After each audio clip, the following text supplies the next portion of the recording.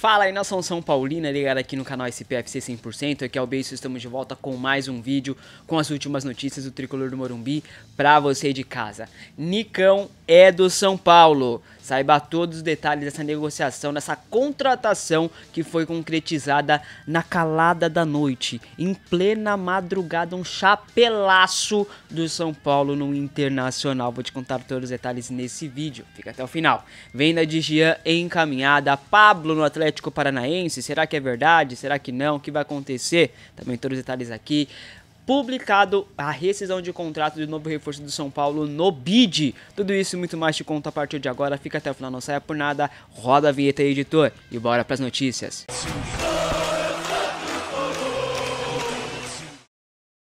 A gestão Júlio Casares valorizou aí a camisa do São Paulo em quatro vezes mais em comparação à antiga gestão, né, gente? A gente viu aí chegada de novos patrocinadores, chegaram recentemente mais novos patrocinadores, novos parceiros aí o tricolor do Morumbi, né? Em contrapartida tem outros contratos de outros patrocinadores que estão vencendo neste ano. Por exemplo, a Colchões Gazin tem contrato apenas até abril desse ano.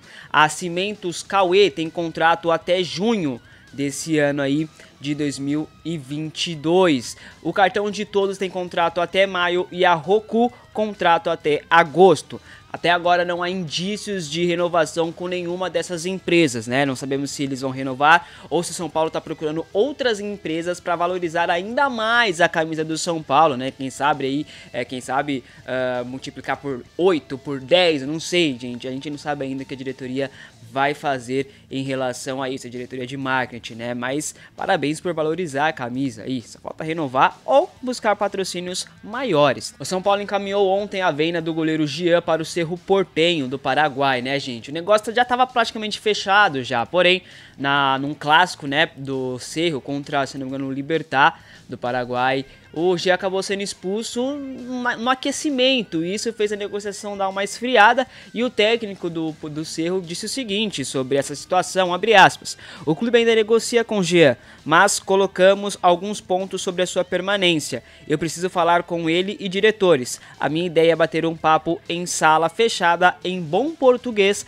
para que ele me entenda é um louco do bem, fecha aspas, disse aí o Arce sobre o Jean, né, gente? Aí parece que ele bateu esse papo com o Jean sim, porque ontem as negociações voltou a esquentar e o desfecho aí deve ser a venda do Jean por 6 milhões e 200 mil reais para o São Paulo, embolsando aí pela venda do goleiro Gian. Para selar o negócio, faltam apenas alguns detalhes entre clube, o Cerro Portenho, e o goleiro Gian para finalizar a negociação e anunciar de forma oficial a compra de Gian pelo Cerro Portenho. Esse anúncio deve acontecer nos próximos dias oficialmente adeus Jean, que já tinha sido comunicado pela diretoria São Paulina que não vestiria mais a camisa do São Paulo. Em dezembro, o São Paulo anunciou a contratação do goleiro Jandrei, ele que pertencia ao Santos, né, não teve ainda seu nome publicado no BID, porque ele ainda estava como jogador do Santos no boletim informativo diário da CBF. Porém, ontem a rescisão de contrato de Jandrei junto ao Santos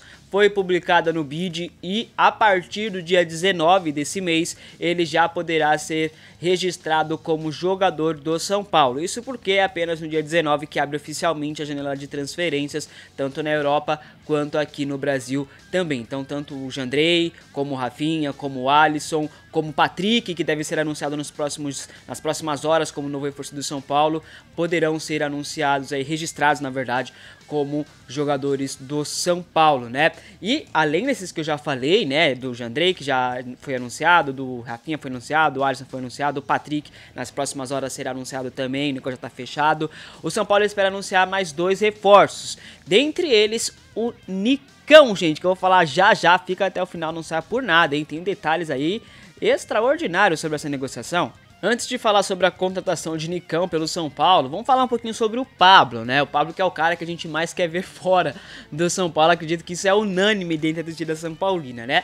Porém, a dificuldade é enorme, isso porque o Pablo tem um belo contrato no São Paulo, né? E para convencê-lo de abrir mão desse belo contrato de aposentadoria no São Paulo é muito complicado, né? O Ceará era o clube que mais estava interessado no Pablo, chegou a negociar e está muito perto de fechar a contratação. Porém, o presidente aí do Ceará descartou o nome por conta da demora pela resposta. O Pablo não, não, respondia, não falava se queria ou não jogar e tal. Aí o presidente falou assim: não, não queremos mais, desistimos, descartamos a contratação do Pablo. O presidente do Ceará ainda revelou mais detalhes sobre essa negociação. Como eu já tinha falado antes, alguns vídeos atrás, quando eu falei sobre o Pablo, entre Ceará, São Paulo e os empresários do atleta, estava praticamente tudo, já estava tudo certo. Faltava o ok do Pablo de ir. O presidente do Ceará revelou que quem brecou essa negociação, essa contratação, esse negócio ser fechado, foi o pai do jogador. O próprio pai do Pablo brecou a ida do Pablo para o Ceará, porque o pai do Pablo acredita que ele poderá ainda dar a volta por cima no São Paulo. Isso não deve acontecer, porque já entrou outro time na parada querendo tirar o Pablo do São Paulo. Graças a Deus tem ainda clube interessado no Pablo. Obrigado, meu senhor, obrigado.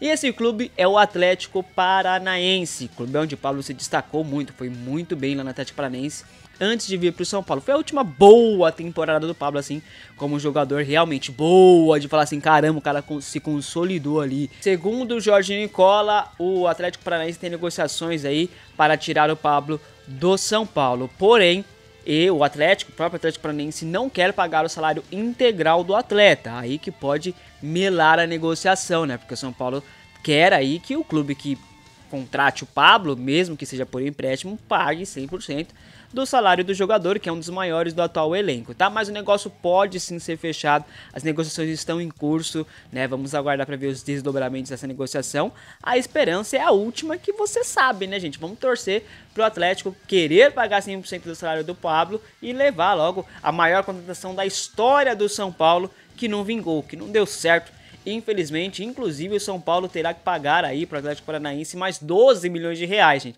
Ah, o negócio tá, o negócio tá louco, viu, meu? Né, tá difícil a situação. Até quinta-feira, Nicão já estava praticamente acertado com o Internacional, né? O São Paulo tava desanimado, tava triste porque queria muito o Nicão e não conseguiu, né? Pelo menos até então. Mas tudo mudou, gente. Como no mercado da bola sempre falo, é dinâmico, não tem nada certo. É enquanto não assinar contrato, não dá pra cravar nada. Tudo mudou e o São Paulo finalmente deu um belo chapéu em alguém. E infelizmente, ou felizmente para muitos, foi no Internacional, gente. O Nicão não aceitou a proposta do Internacional e aceitou do São Paulo. Nicão é do São Paulo. Novo reforço do tricolor é o Nicão. A desistência do Internacional se deu por conta de divergências contratuais. Eu vou te explicar tudo para você não ficar perdido aqui, tá, gente? Olha os detalhes. Que absurdo. Depois eu vou te falar o mais absurdo ainda, mas enfim, né? O Inter ofereceu para o Nicão aí e seu empresário 3 milhões e meio de luvas, 5% de toda a negociação para o empresário, mais 2 milhões de reais para o empresário de comissão. Olha só que belo contrato, né? O entrave foi o seguinte: o empresário queria mais 5, mais de 5% de comissão e, consequentemente, mais de 2 milhões de reais por comissão. Aí deu a divergência, o Inter desistiu, falou: não, não vamos pagar. A gente não vai pagar mais, mais de 2 milhões de reais de comissão para você, nem oferecer mais de 5% de, de toda a negociação. Não tem lógica. Aí o São Paulo ofereceu tudo que Nicão e o staff do jogador queria, né? Então, Nicão é do São Paulo, contrato de 4 anos com possibilidade de renovar por mais uma temporada, salário de 500 mil reais por mês, pelo menos é o que tá saindo aí na imprensa. No Internacional ele iria receber aí 800 mil reais, mas o Inter não quis pagar aquele negócio pro empresário. 5% de toda a negociação para o empresário do jogador, mais 4 milhões de reais para o próprio empresário do jogador. O que o Inter não queria pagar, o São Paulo foi e pagou. Ainda vai ter 3 milhões e meio de luvas para o jogador aí um contrato com São Paulo que só o São Paulo adora fazer. Nicão é do São Paulo. O anúncio oficial deve acontecer nos próximos dias. Então Nicão é do São Paulo. Nicão é do São Paulo, Patrick é do São Paulo e tem um anãozinho chegando aí, gente. Fiquem espertos que tem anãozinho pintando no São Paulo também. Eu vou te contar no próximo vídeo. Obrigado por ficar comigo até aqui. Seja bem-vindo, Nicão. O que você acha dessa contratação? Comente aqui embaixo. Até o próximo. Eu fui.